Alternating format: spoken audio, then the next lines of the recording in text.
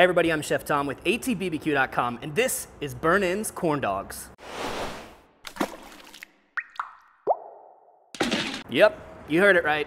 Brisket burnt ends turned into a corn dog. It's maybe the most epic state fair-like food that you'll ever experience. So over the top, and while I thought it was a really fun gimmick, when I actually got into testing it and then tasting it, it's incredible. Let's get into it.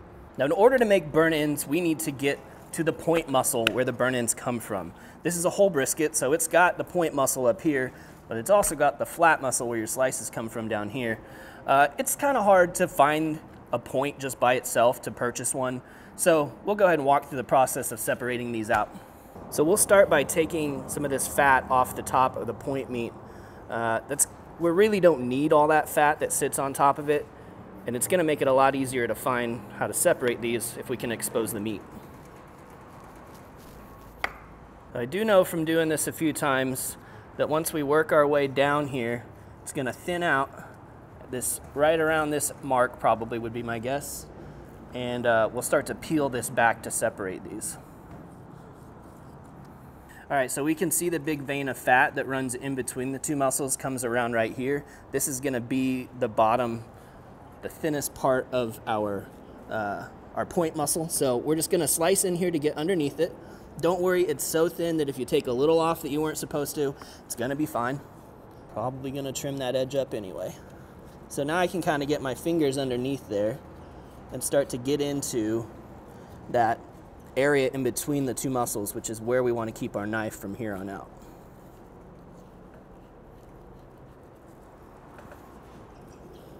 See that red right down there? We can see a little bit of that flat coming through, so I know not to go any deeper. Feel like getting this cut started and then the final cut, when you make the final separation, those are the two most intimidating ones. Uh, but it's just a matter of doing this again and again and getting comfortable with it. Kind of lift this up, let the weight of the brisket itself do the cutting. I'm just lightly slicing through these strands that go up and down. So we peeled this back till we almost are ready to do our last bit of cutting here. And the good news is from the side, you can really see where the white is. So you can just kind of follow that even when it gets a little bit thicker and a little bit more difficult to tell where to make that cut. But we are almost there. Stay out of the red. There we go. Now they're separated. We just got to get this side cleaned up to look like this side. First of all, these paper thin edges are just gonna burn up when we smoke them anyway, so you can slice that off and add it to your burger grind or sausage grind. And then you're gonna have some sections of hard fat that we wanna get completely out of there. Just gonna cut down until I see red and then level off.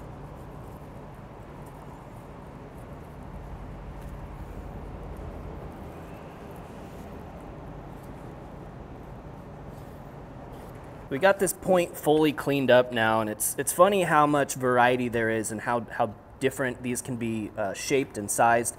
This is a pretty wide point, and it's also pretty even. Like most of the time, there's a much larger uh, hump here that I would go ahead and butterfly out, but being that that's a pretty good thickness and pretty even to the opposite side, I think we're just gonna let it ride.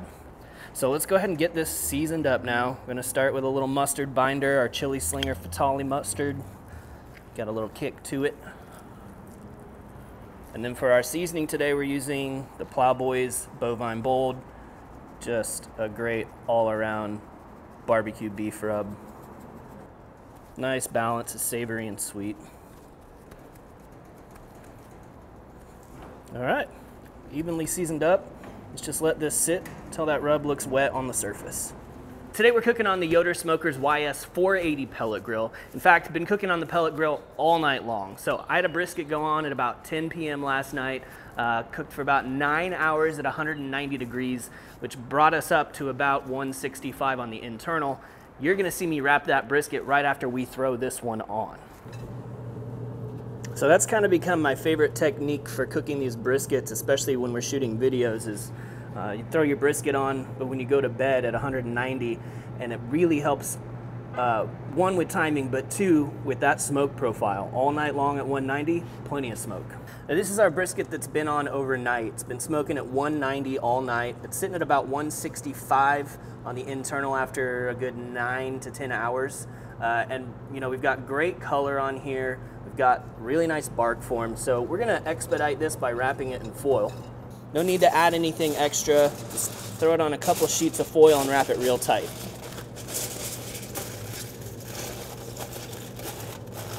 Stick our probe back in here. And we're gonna keep on cooking this now with the temp up at about 250 until it reaches an internal of about 205. Maybe a little bit lower, 200 to 205, but really we'll be looking for tenderness. Our point's been wrapped for about an hour now. We've been checking the doneness. We're sitting just over 200 in that 200 to 205 range, but more importantly, probing really tender. So we're ready to cube this up and sauce it now. Well, the point's had about 20 minutes of rest time now. We're gonna slice it into cubes, about one inch cubes. Slicing really easy. Oh dang, look how juicy that is. Looks good.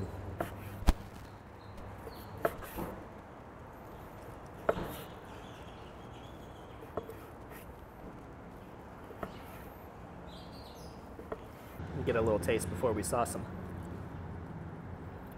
Mmm.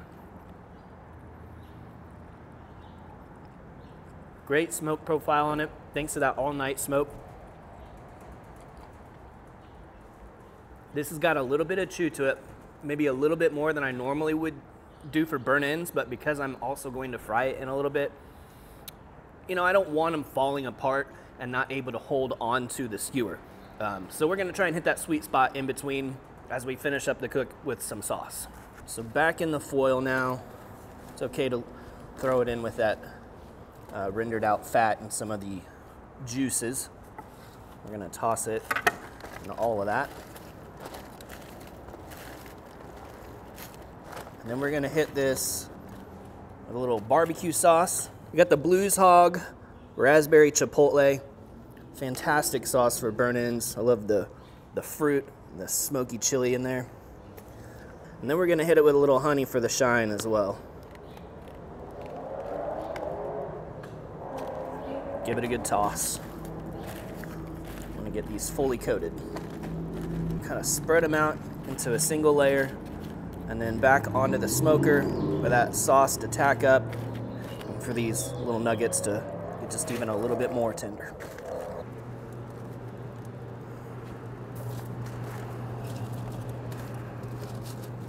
All right, let's let it go. Burnt ends have been back on for about, oh, 30, 40 minutes now, and they're looking really good. That sauce is all tacked up on the surface. Let's pull these out of here. All right, let's put together some of our corn dog batter. We're gonna start with a cup and a half of all-purpose flour. Gonna add to that a cup and a half of our yellow cornmeal. And we've got our leaveners. Teaspoon and a half of baking powder and a half teaspoon of baking soda. I'm gonna season this up with a couple tablespoons of that same bovine bold that we used on our brisket.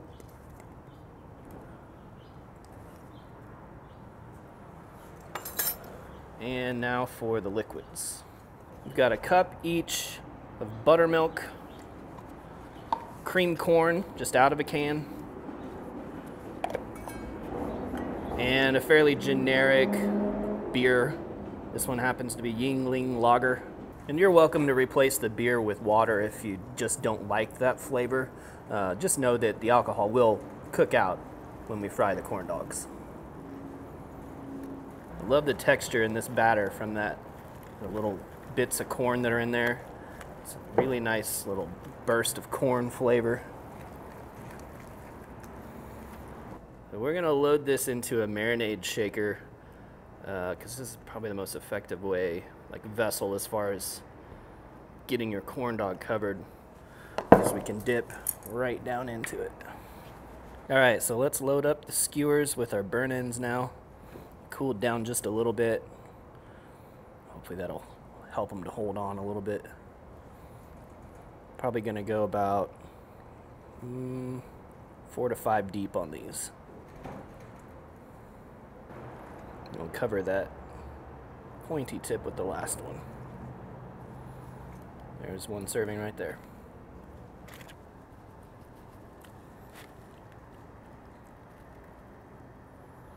We're gonna do our frying on the side burner of the Napoleon Phantom 500 gas grill just to make it easy and so we don't have to have all that grease and stuff splattering inside. Now I've got about a gallon of vegetable oil in my Dutch oven and it's preheated to about 375 to 400 right now. We're gonna do this live, dip and go. A nice coating on there and drop it. You're gonna wanna float a little bit so you're gonna have to kind of hold them down or weigh them down one on top of the other. Probably easiest to just do a couple at a time. That beer batter smells good. Probably should throw on a some cottons and nitriles to keep from the popping hot oil getting in the fingers. We'll do that for the next round. So just kind of slowly rotating these and frying them until they're golden brown. First one's looking pretty good.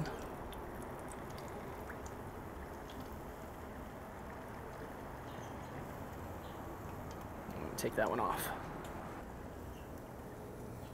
Got burnt ends popping out the top. That's all right. Last one's going down now. After the second batch took a little break to let the oil temperature recover, come back up to like 375, 380.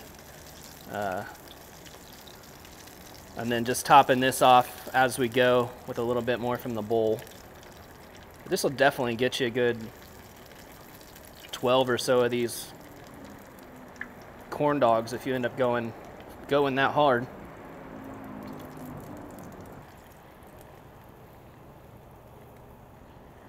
All right, since we're going big, we're going all the way big, covering it in powdered sugar to finish, and then some more of that raspberry chipotle barbecue sauce. Boom. State Fair beauty. Moment of truth.